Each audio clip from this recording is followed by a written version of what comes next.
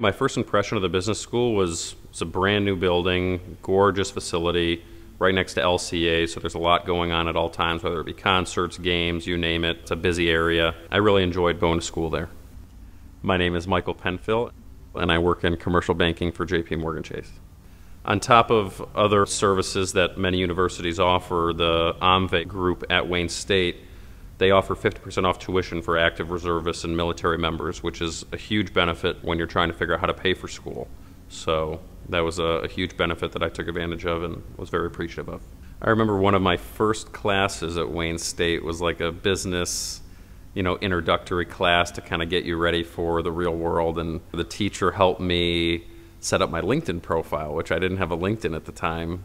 And I remember when I first made it, you know, they were like, oh, you need to change this, make your bio this, gave me a few tweaks and pointers, helped me work on my resume from there, which again needed a lot of tweaks and criticism, but we got to where we needed it and it helped me land my position. So I'm very grateful and, and happy that this is where I chose to go to school because I don't know that I'd be where I am today without Wayne State.